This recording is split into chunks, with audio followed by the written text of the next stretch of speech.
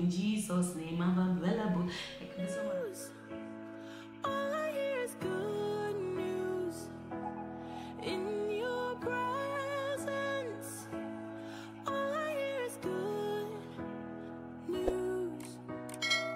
Guys, welcome back to the channel. This is going to be pretty a long video, so I advise you to take your water, your cup of tea or whatever, or popcorn, and just watch through this video. It's going to be educative. It's going to be really interesting, and it's just something that I've never done on my channel. So it's going to be a story to tell you guys how I told a guy that God said he was the will of God for my life. still don't understand what I'm trying to say, is I told the man that God said that he was my husband. Yeah.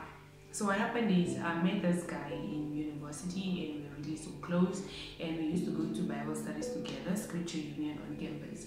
And then we became really close and we used to talk and we were really friends. We used to do literally everything together and he was not from my church, but then he was from my scripture union, like Bible study on campus.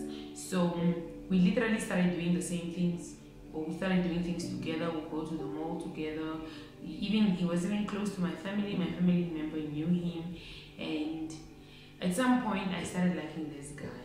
But then this guy liked another girl, and so he used to drive. So sometimes when he drives, he come and pick me up, and then we go pick up that girl. Sometimes when he come pick me up, the girl is already I started getting jealous because I started viewing this guy as my husband already. You get? I later told him that I was not comfortable with us being three in this friendship because I just felt like he was always being biased. He doesn't treat me nice anymore. And then at some point, the day, okay, fast forward to the day I told him that God said that you're my husband. We were going to a Bible study at their house, at their church, and when he came to pick me up, uh, there was no one in the car. So I felt like, okay, we usually in the car we're always three. At least this was a good opportunity for me to tell him that, you know, what, God is saying that you're my husband. And I decided to use the opportunity and I told him. And shocking was his face. You could have seen how shocked he was. He looked at me like, God said you are what? I decided to tell him just to flee my heart, right? So after telling him, he told me that we probably need to pray because he doesn't feel the same way. He never looked at me the same way. And last last year, our friendship just scattered. We just stopped talking. We were younger.